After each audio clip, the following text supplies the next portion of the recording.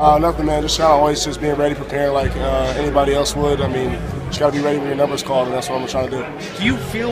I mean, have you thought about the position you're in right now? I mean, I know it's been crazy with the way things have gone, but like, Yeah.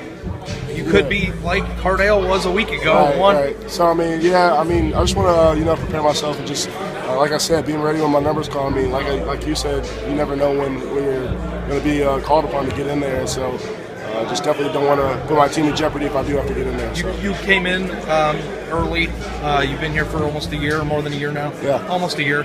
How much different are you as a player now than you were when you got here? Man, light years, man, light years. It's so crazy. Um, you know, you come in uh, as a high schooler. I mean, uh, putting up all these great stats and everything. You think you're kind of good, and uh, you kind of realize once you get here, you have so much more to work on. And even still have so much more to work on. And it's, it's kind of uh, it's actually encouraging just because you know your ceiling's so much higher than it is right now. And so, uh, I feel like a lot better player though for sure. Have you had a discussion with Coach Meyer and those guys about what the plan is for you in the event that they might need you this year? Um, yeah, a little bit. Just gotta kind of keep that under wraps right now. But I mean, uh, like I said, my name's called, I'll be ready.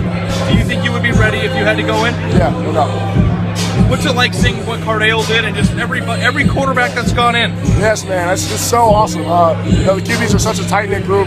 Uh, I mean, there's only four or five of us, so uh, you know, anytime any of us does good, it just feels so good for all of us. And I was just elated to see him do well tonight. What's it been like in that room this year with all the ups and downs, the changes in leadership? Yeah. Just what's it been like through all the change? Just persistence, man. Coach Herman keeps us all grounded. You know, uh, we all do a great job of preparing in and out. And uh, like I said, just everybody's just uh, ready when their name's called.